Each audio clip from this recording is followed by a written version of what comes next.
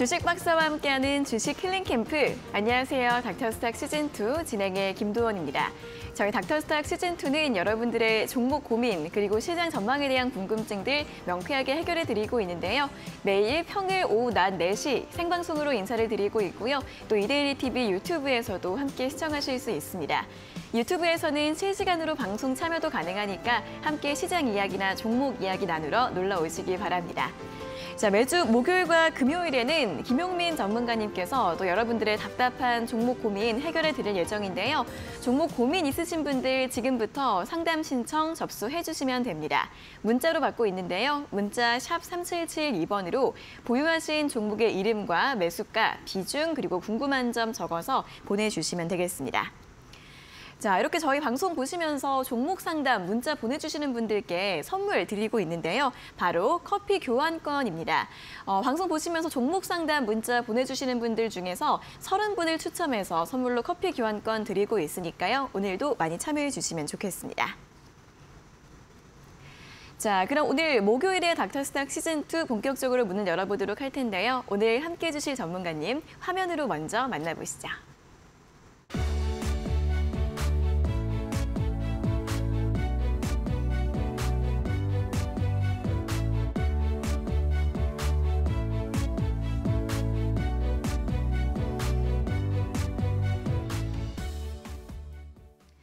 네, 이데일리온 전문가 김용민 주식 닥터 나와 계십니다. 전문가님 어서 오세요. 네, 안녕하세요. 네, 자 오늘 시장이 기분 좋게 마감을 했는데 오늘장 마감 시황 먼저 정리를 해보도록 하겠습니다. 어, 간밤 뉴욕 증시는 알파벳과 마이크로소프트 등 빅테크 기업들의 실적 부진으로 크게 하락을 했고요. 또 장 마감 후에 메타 같은 경우에도 시장 전망치를 하회하는 실적을 발표를 했습니다. 하지만 오늘 국내 증시는 어, 뉴욕 증시 영향을 받지 않고 연준의 정책 전환 기대감 이어지면서 오늘장 상승 흐름을 보였는데요. 자, 코스피 지수 먼저 확인해 보도록 하겠습니다. 오늘 2250선 뚫어내면서 2288포인트까지 상승을 했습니다. 1.7%의 탄력으로 마감을 했고요. 수급 흐름 보시면 외국인과 기관의 동반 매수세 강하게 들어왔습니다. 외국인의 매수가 5월의 연속 유입되는 모습이었고요. 오늘도 전기전자 업종 반도체와 배터리주 집중적인 매수세에 들어왔습니다. 다음으로 코스닥 지수도 확인해 보시면 오늘 코스피와 코스닥 상승 탄력이 똑같았습니다. 코스닥도 1.74% 탄력으로 695선까지 회복을 하면서 마감을 했고요. 수급 흐름도 마찬가지로 코스닥 시장에서도 외국인과 기관의 동반 매수세가 지수를 끌어올렸습니다. 특히 오늘장은 2차원 지주 위주로 매수가 들어오면서 강한 상승 탄력 보였는데요. 자, 오늘의 특징주 바로 2차 전지 섹터부터 살펴보도록 하겠습니다. 자, 오늘 이 섹터 배터리 셀 업체부터 소재, 부품, 장비주들까지 일제히 강한 움직임을 보였습니다. 앞서 LG에너지 솔루션과 삼성 SDI가 사상 최대 실적을 발표를 하면서 어, 향후에도 실적에 대한 기대감이 높아지고 있고요. SK 온 같은 경우에도 영업 손실을 크게 줄일 수 있을 것으로 예상이 되고 있습니다. 어, 삼성 SDI와 LG에너지 솔루션 오늘까지 주가가 5거래일 연속으로 상승을 했고요. 또 증권가에 따르면 올 4분기부터는 이 배터리 셀 업체들의 미국 공장 증설에 따라 장비 발주 사이클이 본격화될 것이라는 이야기들도 나오고 있습니다. 장비주 PNT 같은 경우에도 10%대 강한 움직임을 보였습니다. 다음으로 메타버스 관련주들도 확인을 해보도록 하겠습니다. 오늘 새벽에 메타가 실적을 발표를 했는데요. 메타 자체의 실적은 굉장히 좋지 않았지만 신사업인 메타버스 분야에 투자를 계속 이어갈 것이라고 이야기를 했고요. 또 VR 헤드셋을 내년에 공개할 예정으로 예상이 되고 있습니다. 이에 따라 국내 관련주들 역시 움직임을 보이면서 YJM 게임즈 같은 경우에도 두 자릿수의 움직임을 보였습니다.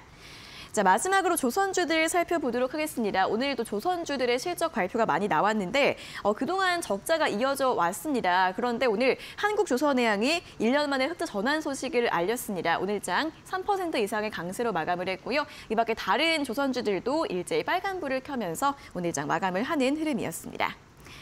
자, 오늘 또 굉장히 시장 분위기가 또 좋았습니다. 삼성전자 같은 경우엔 장중에 6만 원선 터치도 했고 또 수급도 굉장히 좋은 흐름인데 전문가님 오늘 시장 어떻게 봐야 될까요? 오늘은 좀안 하셨죠? 네. 어, 오늘은 그래도 한숨 돌렸다 음. 뭐 이런 느낌이 시장이었습니다. 네. 일단 어제 연준에서 이 고강도 긴축을 좀 낮출 것이라는 기대감이 생기면서 미국 증시도 상승으로 마감을 했는데요. 국내 증시도 이제 마찬가지로 동조화가 되면서 좋은 흐름으로 좀 마감을 했습니다. 일단 미국 증시에서 먼저 중요하게 좀 봐야 될 지표 중에 하나가 이 케이스 실러 지표 지수라고 있습니다. 이 어제 S&P 케이스 실러가 집계한 이 주택 가격이 전월 대비해서 1.32% 어, 하락을 했는데요. 예상치보다 어, 예상치인 0.8%보다 더 큰 폭으로 하락을 했다는 점이 좀 주요 포인트라고 보시면 되겠습니다. 이렇게 지금 1.32% 하락을 했다고 했는데 이거는 2009년 3월 이후에 가장 큰 하락이 나왔다고 좀 보시면 될 것 같은데 이 소비자 물가 지수 CPI에서 이 주택이 차지하는 비율이 3분의 1가량 정도 됩니다. 그래서 비중이 굉장히 높기 때문에 이게 줄어들기 시작을 했다면 인플레이션 이 하락에 긍정적인 신호를 주게 되고 그리고 물가가 잡히고 있다는 것에 대한 실마리를 좀 주는 거기 때문에 좀 긍정적인 흐름이었다. 이렇게 보시면 되겠습니다. 그리고 추가적으로 좋은 이슈였던 게 이제 컨퍼런스 보드에서 소비자 심리 지표 이것도 3개월 만에 하락을 했다는 것도 어, 좋은 요인으로 좀 꼽히는데요. 특히 이 고용 부분의 심리가 후퇴하고 있다는 점도 미증시 상승에 좀 그 기여를 한 것으로 좀 보여집니다. 이에 따라서 지금 미국 국채 10년물은 전일 대비해서 14bp가량 하락을 했고요. 2년물 같은 경우에는 3bp 하락 마감을 했습니다. 이게 또 중요하게 우리가 봐야 될 게 유가를 빼놓고 얘기를 안 할 수가 없을 것 같은데 네. 일단 이 서부 텍사스 이 WTI 유가는 0.87% 오른 85.32달러로 마감을 했는데요. 유가가 사실 80달러 그 아래로 내려가면 더 좋겠지만 현재 부근에서만 유지만 돼도 충분히 좋은 상황이라고 저는 분석을 하고 있습니다. 네, 다음으로는 국내 증시 리뷰를 좀 드리도록 하겠습니다. 네. 국내 증시 같은 경우에는요, 지금 최근에 좋은 흐름을 계속 보이고 있는데 이 외국인 기관 매수세 어, 꾸준했고요. 예, 어제 미증시하고 어쨌든 동조화된 흐름이었다고 좀 보시면 될 것 같습니다. 음. 어, 특징적으로는 삼성전자 이재용 부회장이 회장으로 승진이 됐습니다. 이 세상에 없는 기술에 투자를 하겠다고 좀 얘기를 하는데요. 어, 이에 시장도 화답을 하듯 6만 전자를 터치하는 모습이 좀 나와줬습니다. 이제 삼성전자에서 무엇을 추진하느냐가 윤곽이 드러날 때마다 좀 관련주들, 테마들이 생겨날 것으로 좀 예상이 되고요. 어, 오늘 같은 경우에는 이 반도체 핵심 소재 중에 하나인 이 제논가스를 국산화 추진을 하겠다라는 뉴스가 나오면서 이 풍국주정이라는 종목이 급등을 나오면서 장중에 상한가도 터치를 하기로 했습니다. 일단 시청자분들도 어떤 섹터가 좀 이렇게 주요하게 소재가 되고 이렇게 급등이 나올지 궁금하실 것 같은데요. 일단 삼성전자에서는 지난 5월에 앞으로 5년 동안 국내에 사실 450조를 투입을 할 계획이다라고 얘기를 했습니다. 보시면은 뭐 시스템 반도체, 바이오, 인공지능 AI 그리고 6G 이런 것들을 통해서 초격차 어, 혁신을 하겠다고 얘기를 했습니다. 그러니까 좀 기술 쪽에 좀 더 투자를 하, 투자를 하겠다. 그리고 추가적으로 인재에도 투자를 하겠다 이런 얘기를 했습니다. 이 방금 언급드린 섹터 모두 굉장히 지금 바닥인 종목들이 굉장히 많, 많으니까 예전에 이 삼성전자 투자라든지 M&A 건으로 좀 엮였던 종목들 한 번씩 살펴보시면서 어, 대응하는 것도 좋은 전략이 될 거라고 생각을 하고 있습니다.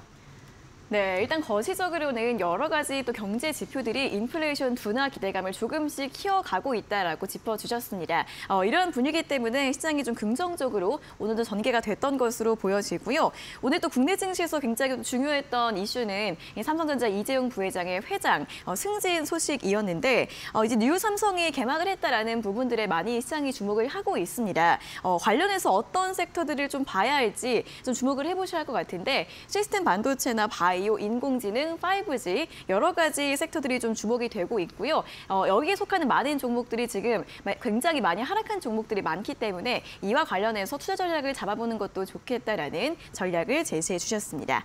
참고해 보시면 좋겠고요. 오늘장 관전평을 들어봤습니다. 자, 저희 또 잠시 후에는 여러분들 종목 상담 또 실시간으로 도와드릴 예정인데요. 고민 있으신 분들 주저하지 마시고 지금 바로 저희 쪽으로 상담 신청 접수를 해주시면 될 것 같습니다. 저희 종목 종목 상담 문자로 접수받고 있는데요. 샵 3772번으로 보유하신 종목의 이름과 매수가, 비중, 그리고 궁금한 점 적어서 보내주시면 되겠습니다. 자, 저희 방송 이렇게 여러분들 종목 고민만 해결해 드리는 게 아니라 선물도 함께 드리고 있습니다. 자, 저희 이렇게 문자 보내주시는 분들 중에서 50, 어, 30분 추첨을 해서 선물로 커피 교환권을 드리고 있으니까요. 방송 보시면서 종목 상담 문자 보내주시고 선물도 함께 얻어가시면 좋을 것 같습니다. 자, 그럼 계속해서는 또 오늘장 돋보였던 핵심 업종과 종목에 대한 분석 확인해 보도록 하겠습니다. 자, 가장 먼저 네옴시티 관련주들 살펴보도록 할 텐데요. 최근에 굉장히 여러 가지 이슈들 때문에 좀 급등락이 이어지고 있습니다. 오늘 같은 경우에는 사우디아라비아의 투자부 장관이 또 한국을 방문한다라는 이슈가 나왔습니다. 어, 여기에 더해서 현대건설기계나 건설주들 같은 경우에는 호실적을 발표하면서 함께 상승세를 보이기도 했는데요. 네옴시티 관련주들 어, 계속해서 좀 이슈가 이어지 지고 있는데 지금도 접근 가능할지 어떤 종목 보면 좋을지 전략을 세워볼까요? 네, 일단 네옴시티 관련 섹터라고 하면요. 이 원전, 태양광, 수소, 건설, 시멘트 정도가 있겠는데 네. 이게 섹터만 얘기해도 굉장히 광범위하다는 게 느껴지시잖아요. 맞아요. 그만큼 종목도 관련주로 되어 있는 게 굉장히 많아요. 그래서 아마 좀 혼란스러우실 것 같은데요. 일단은 뭐 일정이 좀 중요하다고 저는 생각을 하고 있습니다. 뭐 일단 뉴스에 나왔던 것들을 보면은 원희룡 국토부 장관이 다음 달 초에 이제 사우디 방문 일정이 있습니다. 4박 5일, 4박 6일 정도. 근데 이게 여기 같이 이제 사설 그 참여단으로 투, 가는 곳이 삼성물산 그리고 삼성 엔지니어링, 현대건설 그리고 최근에 엄청난 그 급등세를 보여주고 있는 한미글로벌, 음. 그 유신 등등등이 이제 참가를 한다고 합니다. 근데 지금 오늘 시세가 나온 네옴시티 테마주는 역시 대장주인 한미글로벌이 이 장중에 10%까지 이제 상승이 나왔고요. 그리고 삼성물산 같은 경우에도 장중에 7% 상승, 그리고 대한전선까지 어, 장중 10% 상승 흐름이 나왔고요. 이 동아, 동일 테마 내에서도 이 순환매가 돌거나 이 같이 움직이는 경우가 굉장히 원래는 많은데요. 요즘은 좀 흐름을 보면은 그런 흐름이라기보다는 어, 그날 그날 좀 뉴스에 나오는 거에 따라서 수급이 유입되고 빠지고 하는 흐름입니다. 대장주가 아닌 이상. 이거를 좀 어, 저는 어떻게 해석을 하냐면요. 일단은 시장 자체에 돌고 있는 자금 자체가 없기 때문이다. 원래 시장이 굉장히 좋고 그리고 개인 투자자들이 유입이 많이 되고 한다면은 수급이 많기 때문에 이 테마가 올라가면은 1등주, 2등주, 3등주 이런 식으로 동일하게 올라가는데 지금은 1등주로 잡힌 것만 이렇게 올라갔다가 빠지고 뉴스 나왔던 것만 잠깐 올라갔다가 이게 빠지고 좀 이런 흐름이에요. 그렇기 때문에 제가 생각을 했을 때는요. 이게 슈팅이 딱 나왔을 때 추격 매수를 하는 게 아니라 네. 슈팅이 나온 뒤에 살짝 눌릴 때 이때 매수를 해가지고 다음 뉴스를 나올 때까지 좀 기다리는 전략이 좋아 보입니다. 그리고 말씀을 주셨듯이 사우디 그 투자부 장관이 있는데 이분이 다음 달 방한한다는 얘기가 있습니다.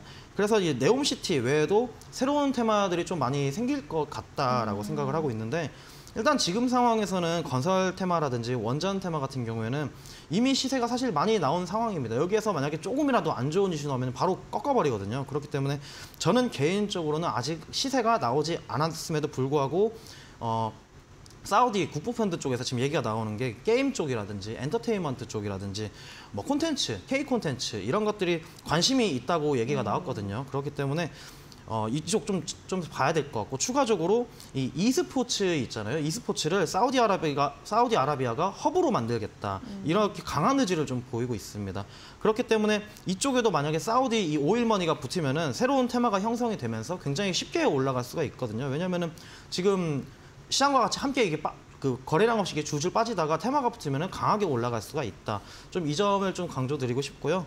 이 기존 네온시티 관련주로 해서 많이 올라갔던 종목들 이런 종목들 같은 경우에는 결국에는 이 남아 남아 있는 지금 일정 자체를 마치고 이 수주 계약을 따내서 돌아와야지 호재가 이제 결국에는 되는 거니까 결과물이 되는 거니까 이 어떤 종목이 수혜주가 될 것인지 이거는 일정이 지나가 봐야 윤곽이 좀 드러날 것으로 좀 보이고요.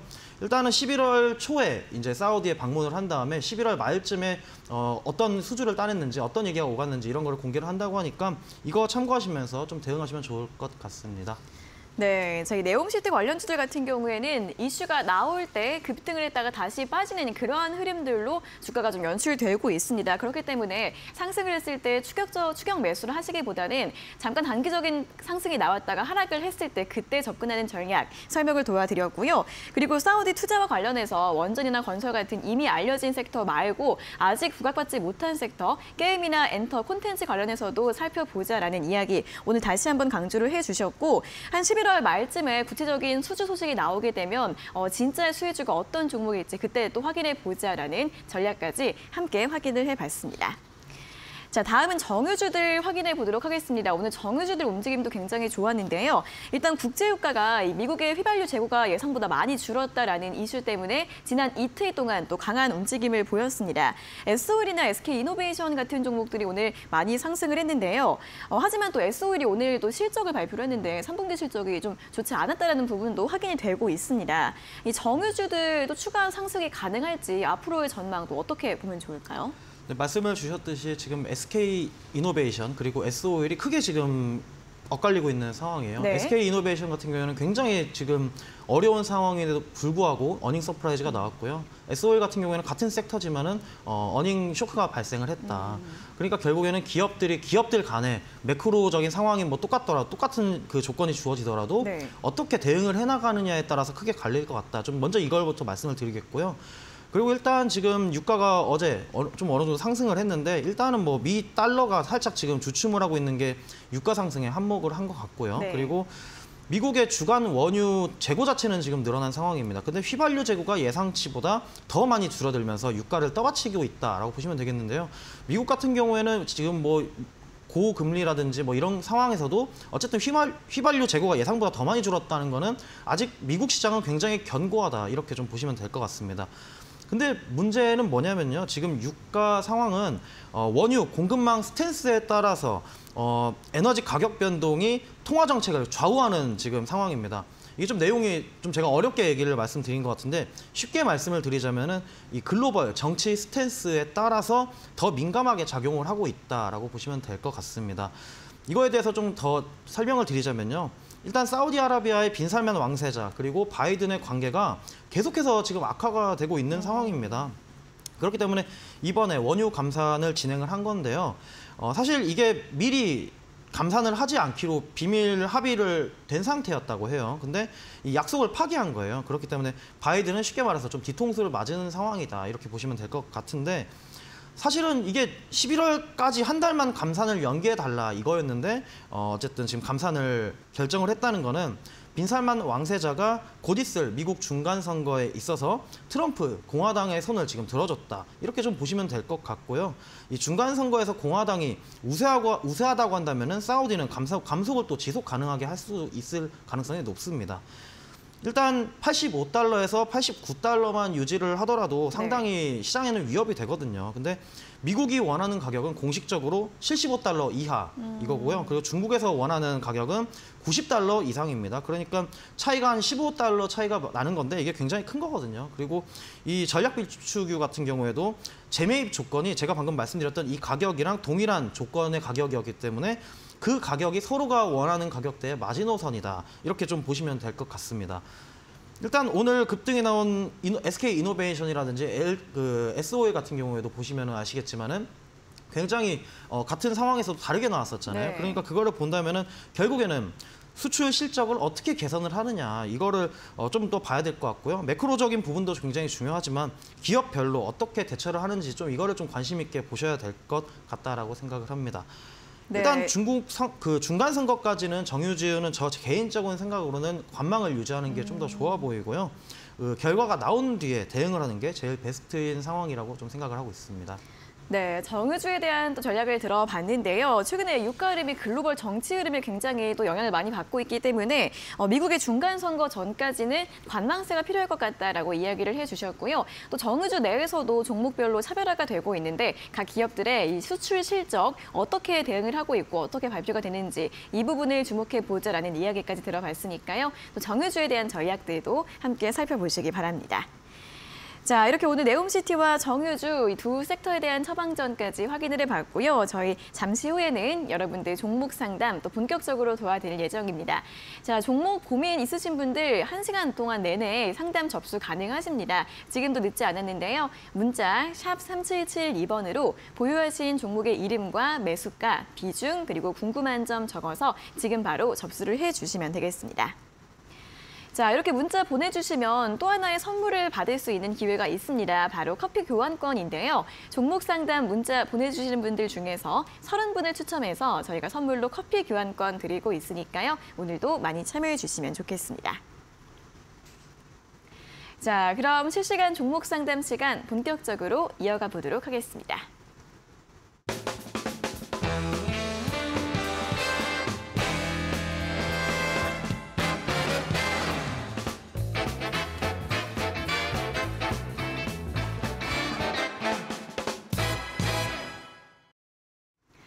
네, 실시간 종목 상담 시간 시작해 보도록 하겠습니다. 고민 있으신 분들은 지금도 계속해서 상담 접수 가능하니까 샵 3772번으로 종목명, 매수가, 비중, 그리고 궁금한 점 적어서 보내주시면 되겠습니다. 자, 그럼 첫 번째 문자 바로 확인해 보도록 하겠습니다. 2211번님께서 보내주신 문자인데요. 안녕하세요. 에코플라스틱 매수가 4,000원에 비중 10% 상담 부탁드립니다 라는 문자를 보내주셨습니다.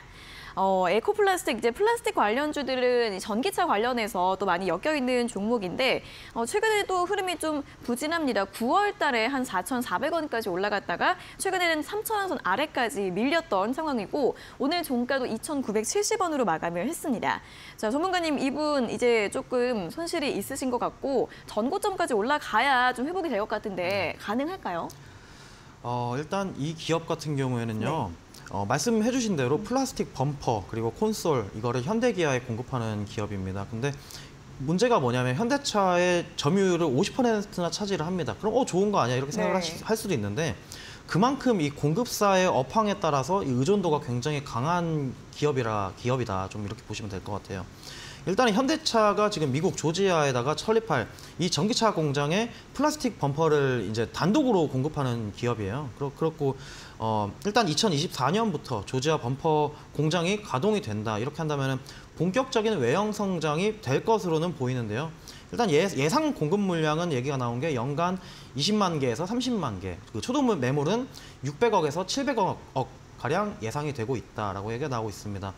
그리고 올해 2분기에 문제가 뭐냐면 이 플라스틱 원료가 되는 나프타라는 원재료가 있는데요. 네. 이 가격이 14년 14년 만에 최고치를 했고요. 아. 그리고 이 에코 플라스틱 역시도 마찬가지로 이 원자재값 상승의 반사이익을 좀 그래도 얻은 것 같다라고 보, 여 지고 있습니다. 근데 이제 조지아 단독 공급, 공급 그리고 나프타 가격 상승, 방사이익 뭐 외에도 중요하게 보셔야 될 게 있는데요. 일단 작년 9월까지 이게 가파른 상승세가 정치 테마주로 엮여서 피크를 찍었다는 게 가장 큰 문제입니다. 이 기업은.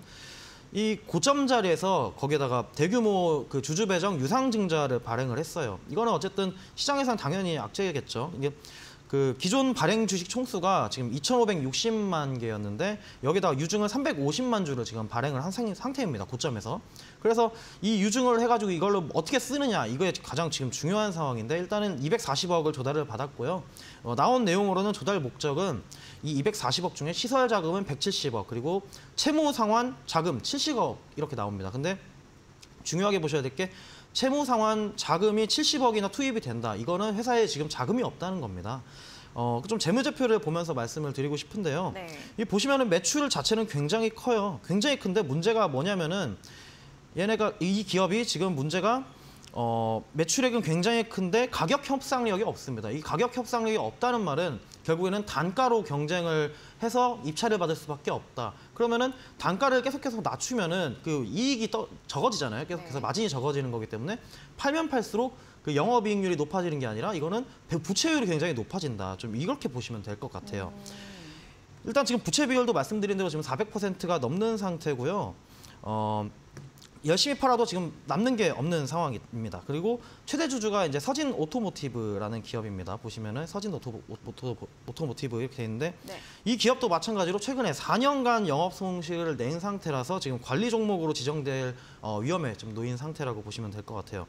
최대 주주도 지금 마찬가지로 지금 자금 조달이 어려운 상황이기 때문에 이 장래 매출 채권 담보, 이 대출권 카드까지 지금 쓴 상태입니다. 유형 자산은 이미 담보로 전부 다 넘어갔다고 하고요. 결국에는 이, 저 이상 이제 담보를 할 게 없기 때문에 장래 매출 채권까지 끌어다 쓴 거라고 보시면 될 것 같아요. 그만큼 지금 상황 자체가 네. 이 서진 오토모티브 모회사부터 그 자회사까지 굉장히 힘든 상황이다. 근데 어쨌든 정치 테마주로 엮이면서 주가가 피크를 찍었을 때를 발판을 삼아가지고 어떻게든 지금 좀 살아남으려고 애쓰는 상황이다라고 보시면 될 것 같은데 일단은 당장은 정치 테마주 재료는 소멸된 상태다. 그리고 이제는 실적으로 어, 증명해야 되는 그런 상황이라고 볼 것 같아요. 근데 지금 아까 말씀드렸듯이 IRA 법 관련해서 지금 조지아 상황이 녹록치 않고 주요 고객사라고 할 수가 있는 이 현대차, 기, 기아차를 비롯한 이 자동차 섹터 업황이 좋지 않은 점, 부품주가 특히 안 좋죠. 그렇기 때문에 더더군다나 나프타 가격도 하락하고 있는 점, 음. 이거를 좀 감안을 하셔야 될 것 같아요.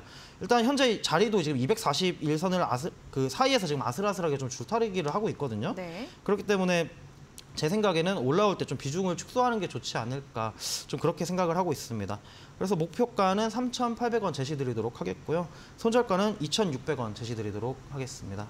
네, 에코 플라스틱 같은 경우에는 좀 신경 써야 할 리스크들이 좀 있을 것 같습니다. 일단 정치 테마주로서의 재료는 모두 소멸이 됐고 재무 구조 리스크가 좀 큰 것으로 보이고요. 자동차 부품주이기 때문에 현대차와 기아의 우려도 함께 받아가고 있는 상황입니다. 그렇기 때문에 반등시 비중 축소 의견 제시를 해드렸고요. 목표 주가 3,800원, 손절가는 2,600원으로 제시를 해드렸습니다. 자, 다음은 4524번님께서 보내주신 문자 확인해 보도록 하겠습니다. 화성 밸브이고요. 매수가가 6,900원에 비중 15%더 하락할까 걱정입니다. 상담 부탁드립니다. 라는 문자를 보내주셨습니다. 자, 화성 밸브 같은 경우에는 앞서 지난달쯤에 어, 이제 가스 파이프라인 이런 이슈가 나왔을 때 좀 움직임을 보였던 종목이고요. 어, 그 상승분을 최근에는 다시 반납을 했습니다. 6월 저점이 4,500원 정도인데 어, 이제 오늘 5,290원으로 마감을 했는데 더 하락할지 걱정이라고 또 시청자분께서 걱정을 하고 계십니다. 전문가님 최근에는 좀 횡보를 하고 있는데 여기서 더 하락 가능성이 있을까요? 어떻게 볼까요? 어, 일단 이 종목 같은 경우에는요 기업의 valuation으로 움직인다기보다는 네. 늘 올랐을 때 그랬어요. 테마주로 올랐거든요. 그렇, 그렇기 때문에 테마주성으로 좀 움직인다 이렇게 보시면 될 것 같아요. 일단 시총 자체도 지금 536억 가량 되거든요. 그러니까 굉장히 가벼운 종목이다. 근데 그럼에도 불구하고 신용 비율이 5.78%나 되거든요. 그렇다는 거는 이제 빠질 때 굉장히 무서운 상황으로 무섭게 빠지는 경향이 있습니다. 이 테마를 보면요 몇 개인 거, 뭐 정치 테마주, 그리고 남북러 가스관 사업, 그리고 상하수도 정비 사업, 뭐 이렇게 다양하게 있습니다. 이렇게 마이크로캡인 기업에다가 테마주가 있는 테마주 같은 경우에는 테마가 지금 살아 있는지 그리고 수급 현황을 봐야 되고 기술적 분석이 굉장히 중요하다고 보시면 될 것 같아요. 이 차트를 보면서 좀 설명을 드리도록 하겠습니다. 일단은 이 남북 가스관 사업, 남북러 가스관 사업은 굳이 말씀을 안 드려도 아시겠지만 소멸된 네. 상태라고 보시면 될 것 같고요. 작년에 이제 슈팅이 나왔을 때 어, 떤 걸로 올라갔냐면은 이 정치 테마주로 한번 상승한 다음에 소멸을 했고요. 그 다음에 올해 4월에는 상수관 단계적 뭐 교체 기대감으로 상승을 했다가 소멸을 했고 또 최근에는 8월에 이 흰남노 태풍권으로 인해서 상하수도 정비 사업으로 올라갔다가 또 다시 지금 소멸을 된 상태라고 볼 수가 있겠습니다. 이렇게 계속 테마로 테마로 올라가는 경우에는요.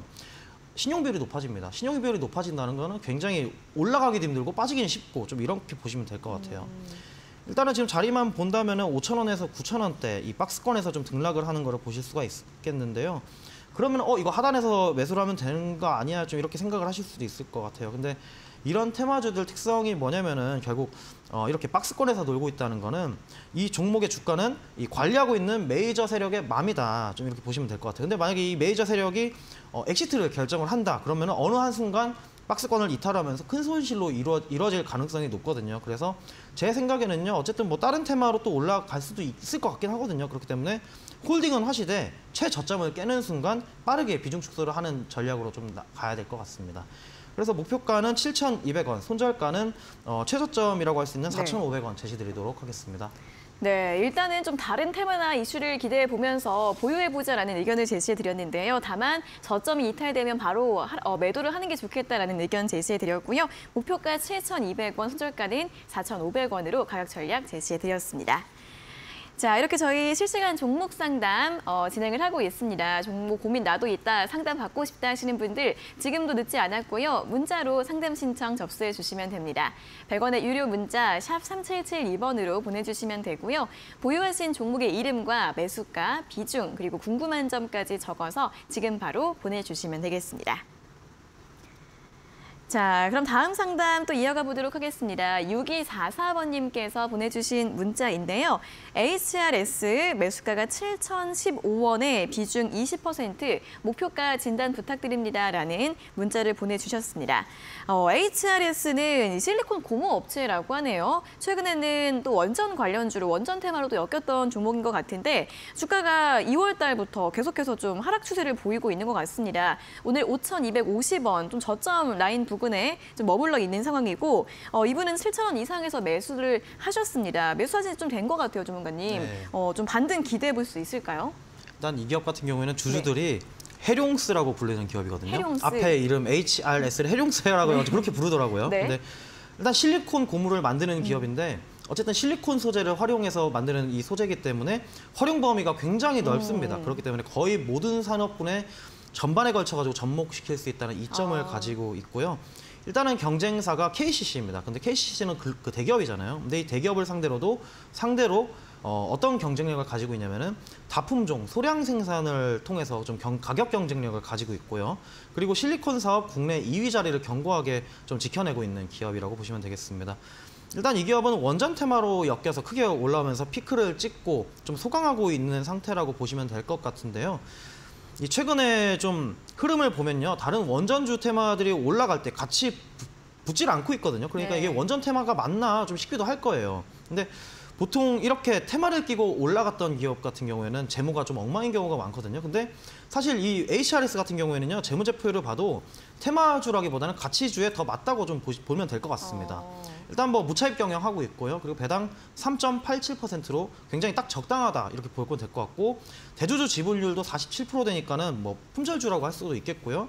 유보율도 1000%가 넘습니다. 이거는 가치주가 맞거든요. 근데 앞서 말씀드린 대로 다품종 소량 생산이 가능하다는 점이 어, 주요 이점이라고 말씀을 드렸는데 재고 자산 관리가 그만큼 얼마나 잘 되는지가 중요하다면 보면 될 것 같아요. 왜냐면은 이거 만들고 저거 만들고 저거 만들고 저거 만들면은 다 소진이 안 되면은 그게 그 재고가 다 쌓이거든요. 그러면 그거를 또 관리 비용이 들어가니까.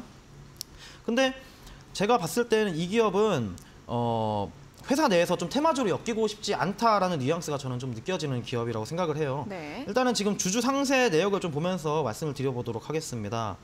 이 보시면은 어, 대- 최대 주주가 지금 강성자 그리고 김, 김진영, 김진성 이렇게 나오는데요. 네. 창업자인 그 김철규 회장이 잡고 하신 뒤에 부인분께서 이제 지금 강성자라고 나오죠. 이분이 회사를 마치, 마치신 거예요. 근데 나머지 특수관계인들은 뭐 아들이겠죠. 근데 이런 경우에는 뭐냐면요. 주가가 오르면 오를수록 나중에 기업 경영권을 물려받을 때 상속세가 그만큼 높아지는 거기 때문에 오너라 오히려 오너 입장에서는 주가가 오르는 걸 싫어하는 경우도 있어요. 어. 그렇기 때문에 특히 우리나라 같은 경우에는요. 이 상속세가 최대 60%까지 되기 때문에 OECD 국가 중에 이 상속세가 1위, 1위 국가입니다. 왜 그러냐면은 이게 국민 정서가 부의 되물, 배- 되물림에 대해서 굉장히 부정적인 어, 국민 정서가 깔려 있기 때문에 이렇게 상속세가 높은 것이다. 이렇게 보면 될 것 같은데 이게 좀 아이러니하게도 구- 주주들에게 주주들에게는 피해가 된다고 좀 보시면 될 것 같아요. 네. 때문에 저는 이런 이슈가 좀 사라지기 전까지는 좀 만년 저평가 기업이 될 가능성이 높다. 좀 이렇게 생각도 해요. 그래서 시세가 한번 나온 상황에서 하락 나오, 나오고 있는 거니까 이게 보유를 하시려면은 저평가 가치주라는 생각으로 좀 장기적인 관점을 가지고 가져가야 될 것 같습니다. 그래서 목표가는요, 어, 7,800원 그리고 손절가는 4,500원 제시드리도록 하겠습니다. 네, 또 이렇게 주주들에 대한 설명과 함께 좀 가치주의 관점에서 장기적으로 보유하는 전략이 좋겠다라는 의견을 제시해 드렸고요. 목표 주가 7,800원, 손절가는 4,500원 제시해 드렸으니까 잘 참고해 보시면 좋겠습니다. 자, 이어서 다음 문자 확인해 보도록 하겠습니다. 다음 문자는 2204번님께서 보내주신 문자입니다. 종목은 세비캠이고요. 매수가가 어, 15만 7,500원에 비중 30% 어떻게 할까요? 도와주세요라는 문자를 보내주셨습니다. 자, 세비캠 같은 경우는 대표적인 또 폐배터리 관련주로 많이들 알고 계시는 종목입니다. 또 성일 하이텍과 굉장히 또 비슷한 흐름을 보여주고 있는데 일단 신규 상장이 8월 초에 했고요. 상장한 이후에 굉장히 또 상승세가 연속적으로 나오다가 최근에는 살짝 힘이 빠지고 있는 모습입니다. 어, 오늘 11만 3천 원으로 마감을 하면서 점점 또 매수가랑 또 차이가 벌어지고 있는 것 같은데 요즘 또 폐배터리 관련주들은 살짝 잠잠한 것 같아요, 전문가님. 네. 어떻게 봐야 될까요? 일단은 폐배터리 기업 같은 경우에는 이거는 그 폐배터리 그 사업으로 보시면 안, 되면 안 되고요. 네. 어쨌든 신규 상장주 같은 경우는 수급 요인이 훨씬 더 크다라고 아. 보시면 될 것 같은데 네. 이거에 대해서 좀 설명을 드려보도록 음. 하겠습니다. 일단 이 기업은 올해 8월에 신규 상장을 한 기업이고 2차 전지가 딱 각광을 받고 있을 때 타이밍 좋게 상장을 하면서 이 IPO 흥행에 성공을 한 기업입니다. 이 상장을 하고 나서도 300% 가량 가파르게 올라갔다 보니까 뭐 그야말로 투자한 사람들에게는 대박이 났다고 좀 보시면 될것 네. 같은데 문제는 뭐냐면요 이렇게 상장을 하자마자 빠르게 올라오면은 오버, 오버행 리스크가 생겨버립니다. 일단 이 투자자를 보면은 코너스톤 파트너 쪽이라고 하는데 지분을 15만 주 그리고 투자 원금은 10억 정도를 투자를 했는데요. 이 지분율로 보면은 4%나 됩니다. 근데 이 지분율 새빗켐 같은 경우에는 최대 주주 지분율이 58%가 되거든요. 그러면은 58%가 최대 주주 지분율이고 거기에다가 이 코너스톤 파트너스는 또 4%를 가지고 있다 보니까는 굉장히 변동성이 크다. 왜냐하면 유통 물량이 적으니까요. 그렇기 때문에 만약에 보유, 보호 예수 물량이 풀린다. 그리고 투자자들이 exit를 한다면 이러면은 굉장히 크게 빠질 수가 있다. 유통 물량이 네. 적으니까. 그래서 일단 보호 예수 물량 1차는 9월에 해제가 됐고요. 그리고 이거 이런 것처럼 제가 맨 처음 말씀드렸듯이 신규 상장주 같은 경우에는 그 개- 기업의 valuation이라든지 그 수급 요인이나 뭐 overhang 리스크에 따라서 변동폭이 굉장히 크기 때문에 리스크가 항상 산재해 있다. 이거를 꼭 어, 알, 알고 계셨으면 좋겠고 어, 투자를 하시더라도 꼼꼼히 좀 살펴보시고 투자하시는 것이 좋을 것 같습니다. 그리고 새빗, 새빗켐 같은 경우에는 회사 좋습니다. 그리고 업황도 좋아요. 근데 앞서 말씀드린 대로 유, 유통물 유통 주식 물량 자체가 굉장히 적은 상황이기 때문에 네. 어 그러면 이거 증자를 할 수도 있지 않을까 하는 기대를 좀 가져볼 수도 있을 것 같아요. 근데 일단 보호, 예, 보호 예수가 지금 11월에도 또 22만 주가 지금 풀리거든요. 그렇기 때문에 무엇보다 증, 증자 이거 자체는 대주주의 마음이니까 쉽게 좀 판단을 할 수 없는 부분인 것 같습니다. 어, 겨- 결론을 말씀을 드리자면요. 네. 회사는 좋은 건 맞습니다. 근데 일단 기존 multiple 자체가 굉장히 높이 책정되어 있는 주가 상태란 것도 맞는 것 같고요. 어, 좀 보수적으로 보는 게 저는 좋을 것 같습니다. 목표가는 14만 8천 원 제시드리도록 하겠고요. 손절가는 10만 원 제시드리도록 하겠습니다. 네, 뭐 폐배터리 업황이나 또 새빗켐 기업 자체는 굉장히 좋은 측면이 있지만 신규 상장주라는 점에서 보호예수 물량 해제 이런 리스크를 좀 어, 감안을 하셔야 될 것 같고요. 그렇기 때문에 보수적인 전략이 필요하다라는 의견, 목표가 14만 8천 원 제시해 드렸으니까요. 참고해 보시면 좋겠습니다. 자, 이렇게 저희 실시간으로 종목 상담 진행을 하고 있습니다. 종목 고민 있으신 분들 지금도 어, 상담 신청 가능하니까 문자 샵 3772번으로 보내주시면 되는데요. 보유하신 종목의 이름과 매수가, 비중, 그리고 궁금한 점 적어서 보내주시면 되고요. 어, 이렇게 문자를 보내주시는 분들 상담뿐만 아니라 또 선물도 함께 받아가실 수 있습니다. 저희가 문자 보내주시는 분들 중에서 30분을 추첨해서 선물로 커피 교환권 드리고 있으니까요. 종목 상담 많이 받아가시고 또 커피 교환권까지 함께 얻어가시면 좋을 것 같습니다. 자, 다음은 또 0375번님께서 보내주신 문자 확인해 보도록 하겠습니다. 종목은 한국 맥널티이고요. 어, 매수가가 9,259원에 비중 15%입니다. 반토막도 더 났네요. 어쩌면 좋을까요? 라는 문자를 보내주셨습니다.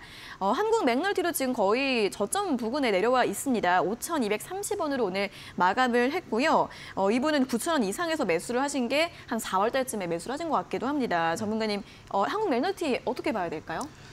일단은 지금 손실이 굉장히 힘드실 네. 것 같아요. 그래가지고 그래도 제가 이거는 최대한 솔직한 심정으로 좀 분석을 드리도록 하겠습니다. 어, 네. 이 기업은 뭐 많은 분들이 아실 만한 이 맥널티 커피하고 그리고 음. 의약품 만드는 기업이라고 보시면 될 것 같은데요.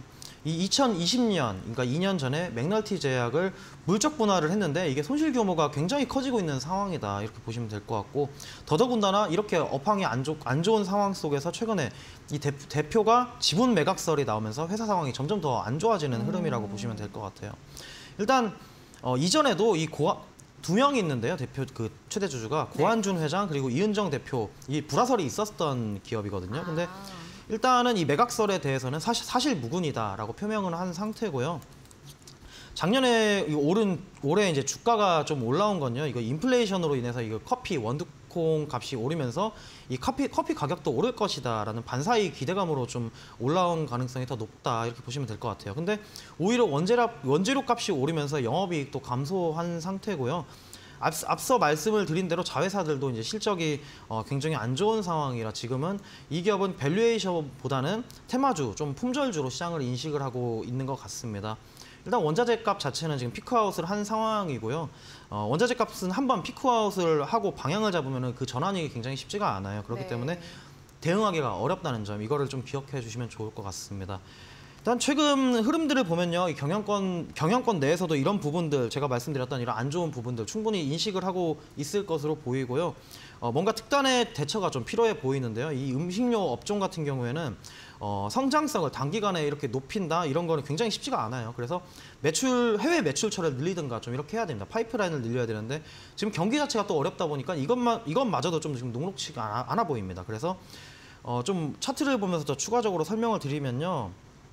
이거는 월봉으로 한번 보셔야 돼요. 월봉으로 보면은 네. 정말 장기적으로도 박스권으로만 쭉 움직이고 있는 기업입니다. 근데 지금 자리가 최하단 박스권 최하단 부분이거든요. 그렇기 때문에 일단은 지금 당장 손실이 크시고 종목의 상승 모멘텀이 좀 부재한 상황이기 때문에 이 추매로 대응을 하시기보다는 여기에서 저점을 이탈할 경우에는 비중을 줄이겠다 관점으로 좀 접근하시는 게 좋을 것 같습니다. 일단 지금 당장은 회사 측에서 어떤 스탠스를 취하느냐 그리고 시장의 신뢰를 어떻게 회복하느냐가 더 중요해 보입니다. 이 목표가는 6,800원 제시드리도록 하겠고요. 손절가는 4,500원 제시드리도록 하겠습니다. 네, 한국맥널티 역시도 기업에 대한 자세한 분석과 함께 목표 주가 6,800원 제시를 드렸으니까요. 참고해 보시기 바랍니다. 자, 다음 문자 또 확인해 보도록 하겠습니다. 6744번님께서 보내주신 문자인데요. 안녕하세요. 라운시큐어 매수가가 2,900원에 비중 10% 종목 상담 부탁드릴게요. 라는 문자를 보내주셨습니다. 어, 라운시큐어는 정보 보안주입니다. 그렇기 때문에 여러 가지 이슈들로 많이 엮여 있는 그런 종목인데 어, 그런데 아무래도 좀 성장주 쪽이다 보니까 좀 주가 흐름이 굉장히 또 부진합니다. 거의 2년째 하락세가 계속 이어져 오고 있고요. 역배열로 좀 계속 밀리고 있는 것 같습니다. 오늘 같은 경우에는 2% 정도 상승을 하면서 2,365원으로 마감을 했는데 어, 이분 어, 전문가님 다행히 그래도 매수가가 그렇게 높으신 건 아닌 것 같은데 어떻게 볼까요? 일단은 어제 강한 슈팅가 나, 가- 강한 슈팅이 좀 나왔었어요. 네. 이게 어떤 걸로 올라갔냐면요. 이게 빗썸이 원래는 카카오 로그인을 했었는데 카카오 로그인밖에 안 되는 게 좀 단점이었거든요. 네. 그래서 이거를 서비스를 사용할 수 없게 된다는 소식에 반사이익으로 좀 강세를 띄었다가 지금 빠진 것, 그 상담 저항 매물 때 맞고 빠진 건데요. 이 라온시큐어 같은 경우는 테마가 굉장히 여러 개 붙어 있는 기업입니다. 뭐 백신 여권, 애플페이, 블록체인 뭐 이렇게 애매하게 테마가 여러 개 붙어 있는 종목 같은 경우에는 조심하는 게 더욱 좋고요. 아까 화성밸브 같이요. 근데 이 재무제표를 보면요. 이게 BPS도 지금 800원, 그리고 당기순이익 23억 원, 시총은 근데 900억이죠. 근데 이렇게 주가가 많이 빠졌는데도 불구하고 신용비율이 2.42%. 결국에는 이게 재무제 재무로 움직이는 기업이라기보다는 수급 그리고 차트 테마로 움직이는 기업이라고 보시면 될 것 같아요. 그리고 최근에 이제 시장에서 급등을 나오는 흐름들을 보면요. 이렇게 우하향을 하는 자리에서 한 번씩 이렇게 띄워주는 경우가 많거든요. 어제같이요. 그렇기 때문에 라운시큐어는 과연 어떤 테마가 지금 남아있느냐 이걸 좀 보면 될 것 같은데요. 이 애플페이가 아직 남아 있습니다. 애플페이가 이제 네. 국내 서비스 일정이 언제 확정이 되느냐에 따라서 좀 갈릴 것 같은데요. 일단 10월 초에 현대카드 약관이 유출됐다는 소식이 좀 있었는데요. 일자를 보면 11월 30일이고 내부적으로는 확정이 되었다는 좀 내용이 있습니다. 아직 이제 일자가 한 달 정도 남았다 보니까 그 전까지는 좀 그래도 홀딩을 하면서 어 그래도 봐도 괜찮지 않을까 저는 그런 생각을 하고요. 대응을 말씀을 드리자면요. 일단 뭐 애플페이 관련해서 한번 슈팅이 나온다. 그렇게 된다면은 뉴스가 나오면 이제 그 뒤로는 이제 좀 재료 소멸성으로 또 빠질 수가 있거든요. 네. 어제처럼. 그렇기 때문에 상단 저- 저항 매물대를 맞고 또 이렇게 윗골이 달고 빠질 수가 있다. 그렇기 때문에 일단은 당장 11월에 있을 이 일정 기다렸다가 슈팅이 나오면은 어, 좀 비중 축소를 하면서 대응을 하시는 게 가장 좀 좋은 전략이라고 생각을 합니다. 일단 목표가는요 2,800원으로 좀 보수적으로 잡아드리도록 하겠고요. 손절가도 어, 2,100원으로 잡아드리도록 하겠습니다. 네, 라운시큐어 같은 경우에는 수급이나 좀 테마로 많이 움직이는 종목입니다. 아직 그래도 남아있는 이슈가 있는데 바로 애플페이 모멘텀인데요. 어, 11월까지는 이런 이 애플페이 모멘텀을 좀 기다려 보시고 이슈와 함께 상승이 나오게 되면 좀 빠른 대응이 필요할 것으로 보입니다. 저항을 맞고 다시 좀 밀릴 가능성이 있기 때문에 빠르게 대응을 해주시고요. 목표가 2,800원, 소절가 2,100원으로 제시해 드렸으니까요. 가격 전략들 잘 참고해 보시기 바랍니다. 자, 오늘 상담은 여기에서 모두 마무리를 해보도록 하겠습니다. 저희가 이렇게 전해드리는 투자 정보는 여러분들께 도움을 드리기 위한 참고 자료입니다. 투자 여부에 대한 결정은 여러분 각자의 판단으로 하셔야 한다는 점 다시 한번 안내해 드리겠습니다. 자, 계속해서 주식 닥터의 다크호스 공략주 확인해보는 시간으로 이어가도록 하겠습니다.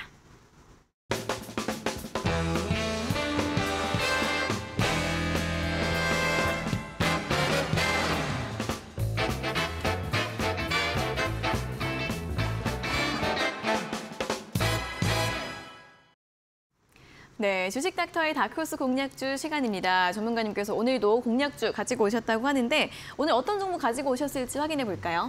네, 요즘 뭐 오늘 당장은 시장이 좀 괜찮았지만 네. 그래도 변동성은 어쨌든 큰 상황이잖아요. 그렇기 네. 때문에 어, 최대한 좀 안정적인 종목을 가져와 보자. 그리고 배당도 좀 좋고 그리고 음. 수급도 좋고 전반적으로 좀 팔방민이 될 수 있는 종목을 가져와 보자 해가지고 가져와 봤는데요. 네. 어, 종목은 포스코 홀딩스입니다. 어, 포스코 어, 여- 홀딩스요. 어, 예, 대한민국의 이제 철강 대장주잖아요. 근데 네. 포스코의 지주사라고 좀 보시면 될 것 같아요. 뭐 우- 제선, 제강, 압연 그 외에도 요즘에는 리튬 그리고 니켈과 같은 배터리 소재로도 이제 사업을 확장을 공격적으로 지금 하고 있고요.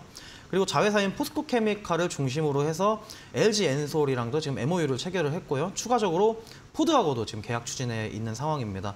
무엇보다도요, 이게 우리나라 배터리 3사를 다 합친 것만큼 가치가 있는 이 100조 규모의 리튬 광산 산업도 하고 있습니다. 음, 이 리튬에 대해서 워낙에 뉴스가 많이 나오니까 제가 네. 어, 그래도 다들 아실 것 같은데 그래도 한 번 더 강조를 드리자면요. 네. 이 테슬라의 일론 머스크조차도 이 리튬 정제 사업은 돈 찍어내는 면허라고 표현을 했을 정도라고 보시면 될 것 같아요. 음. 다만 이게 단기 좀 악재가 있었죠. 거대한 악재가 하나 있었습니다. 바로 올 여름에 힌남노 이 태풍으로 인해서 네. 이 자연재해 직격탄을 맞았잖아요. 맞아요. 그렇기 때문에 이로 인해서 지금 철- 철광석을 노- 녹이는 이 고로라고 있습니다. 고로가 있는데 이게 가동이 중단이 됐어요. 그래서 어, 굉장히 지금 위험 위험하다는 얘기도 굉장히 많았고요. 그래서 주가에도 상당히 좀 타격을 준 상황이라고 보면 될 것 같습니다. 근데 해당 악재는 대부분 지금 반영이 됐다고 생각을 하고요.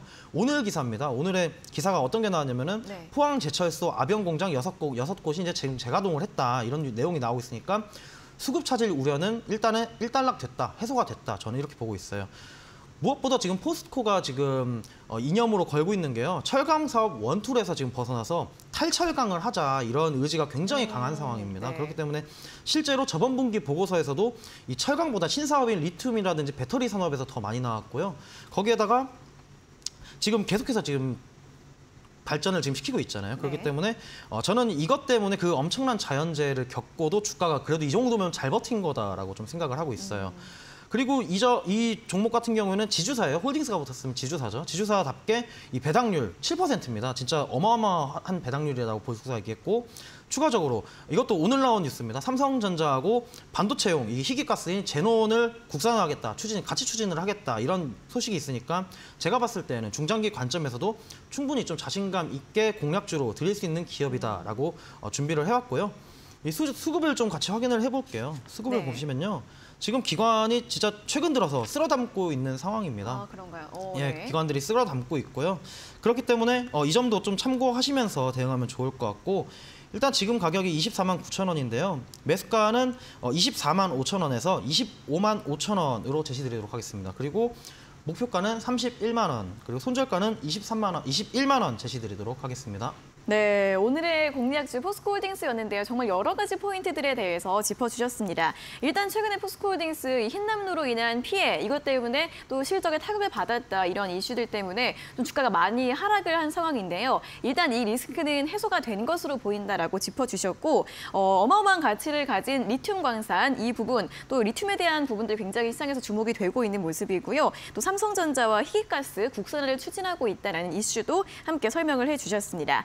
최근에 조정을 또 많이 받았기 때문에 또 매수가 권역을 좀 넉넉하게 잡아주신 것 같은데 어, 지금도 접근 가능할 것으로 보이고요. 목표가 31만 원, 손절가는 21만 원으로 제시해드렸으니까 또 포스코 홀딩스에 대한 투자 전략들 함께 참고를 해보시면 좋겠습니다.